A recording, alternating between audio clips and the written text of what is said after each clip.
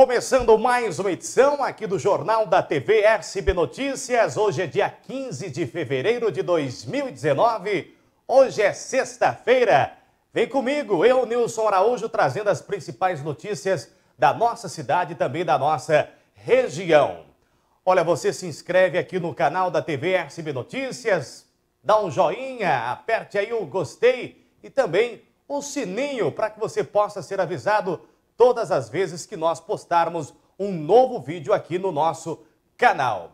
Tem o nosso WhatsApp, a gente coloca aqui na tela para você mandar fotos, imagens aí da sua rua, do seu bairro, os problemas, as situações. Seja repórter por um dia aqui no canal da TV SB Notícias. A gente dá destaque aqui das principais manchetes dos jornais da nossa região. Jornal Todo Dia de Americana. Economia com horário de verão abasteceria Americana por 18 dias. Daí tá a principal manchete do jornal Todo Dia de Americana. Amanhã muda o horário, né? Amanhã, à meia-noite, atrasa o seu relógio em uma hora.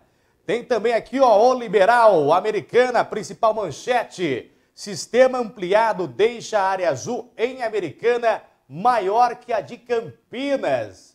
Um exagero, né? Olha aqui, ó, então foram as principais manchetes aqui dos jornais da nossa região.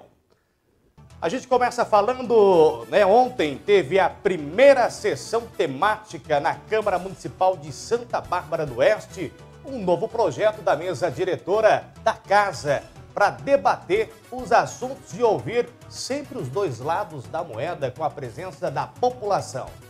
E o primeiro projeto apresentado ontem foi sobre a proibição da comercialização de fogos de artifícios com estampido. A população esteve presente na Câmara Municipal.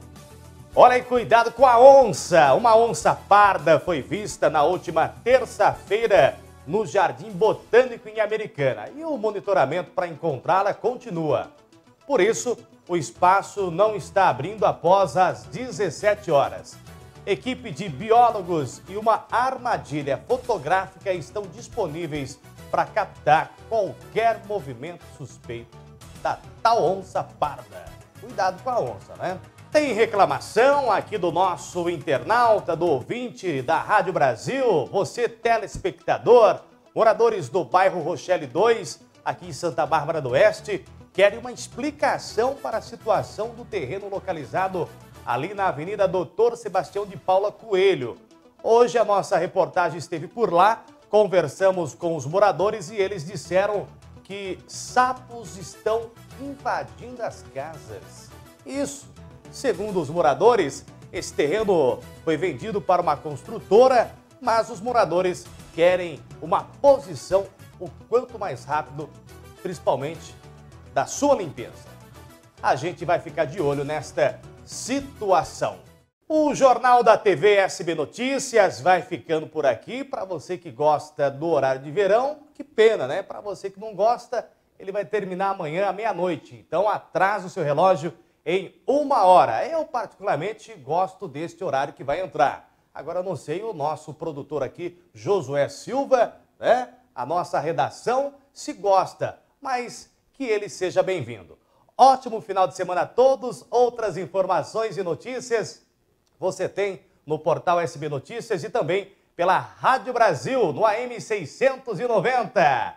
Hoje é sexta-feira. Viva a vida e seja feliz. Tchau, até segunda, pessoal.